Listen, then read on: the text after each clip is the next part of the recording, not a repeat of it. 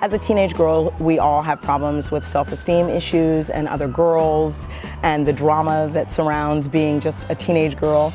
Um, so we've had to have a couple conversations about the right choices and the wrong choices and how do you deal with somebody who doesn't like you for any reason or says something to you just to hurt you and put you down and where your motivation should lie. I've always been good academically. I've always made good grades and I was always a leader, but sometimes I would let other people or other things kind of distract me off the path that I knew I should have gone on.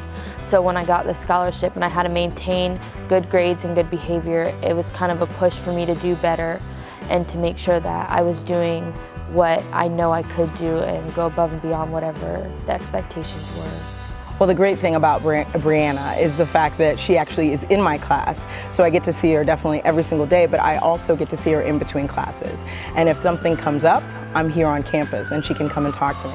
Her interest in me was the kind that I needed. I needed somebody who was going to push me and tell me what I was doing wrong and how to turn it around and do right. And I think has helped me be more confident within myself.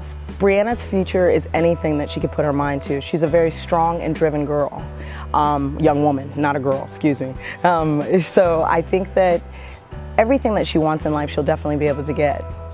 She, she's getting stronger every single day. Her own personal perspective on who she is as a person and her self-worth. Um, she's learning, and I'm proud of her. Thank you, Miss B, for always being here for me and taking a special interest in me and staying on top of everything that I know me personally couldn't I couldn't do. I thank you for believing in me when I thought nobody else did and pushing me to my fullest potential. I hope you can impact as many kids as you've impacted me.